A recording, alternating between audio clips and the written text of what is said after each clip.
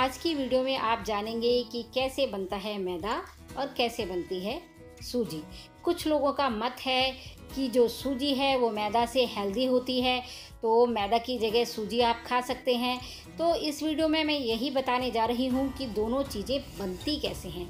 देखिए, मैदा तो अक्सर लोगों को पता ही होगा, आप सब लोगों को पता होगा कि गेहूँ के ऊपर का जो छिलका होता है, उसको मशीनों के द्वारा उतारा जाता है और बाकी जो सफ़ेद वाला पार्ट बचता है गेहूँ का, उसको बिल्कुल बारीक पीसा जाता है तो मैदा तैयार हो जाती है। अब सूजी कैसे बनती है? देखिए, सूजी भी गेहूँ से ही बनती है।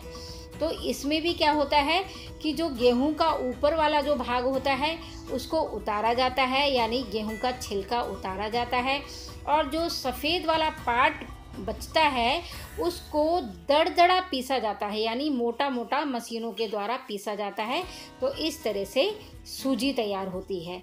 तो मैंने ये छोटी सी वीडियो आपको जानकारी देने के लिए बनाई है बस, क्योंकि बहुत सारे कमेंट आते हैं मेरे पास और कहते हैं कि, मैडम सूजी से हम ये, जैसे किसी रेसिपी में मैं मैदा डालती हूँ तो बोला जाता है कि, मैडम, क्या इसके लिए मैं, हम सूजी इस्तेमाल कर सकते हैं? तो देखिए, डिसीज़न अब आपका है। दोनों ही चीज़ों का प्रोसेस मैंने बता दिया कैसे बनाई जाती हैं। तो डिसीज़न आपका है कि आपको क्या यूज़ करना है, क्या नहीं यूज़ करना, या दोनों ही चीज़ें अवॉइड करनी है तो ये मैं आपके ऊपर छोड़ती हूँ। तो मैंने तो आपको बस जानकारी देने के लिए ये वीडियो बनाई है। वीडियो की जानकारी आपको कैसी लगी ज़रूर बताइएगा। जानकारी पसंद आई हो तो वीडियो को शेयर करना ना भूलें। वीडियो देखने के लिए आपका बहुत बहुत धन्यवाद। अगर मुझसे कोई पूछे तो मैं तो यही कहूँगी कि दोनों ही चीज़ें अवॉइड करनी चाहिए, मैदा भी और सूजी भी, क्योंकि दोनों ही हानिकारक हैं। जो मेन चीज़ थी जिससे हमें गुण मिलते हैं, जिसमें गुण होता है, पौष्टिकता होती है, वो तो उतार ही दिया गया। जब गेहूँ का छिलका ही उतार दिया तो बचा क्या इसके अंदर? तो मैं तो यही कहूँगी कि दोनों में से कोई भी चीज़ नहीं खानी चाहिए।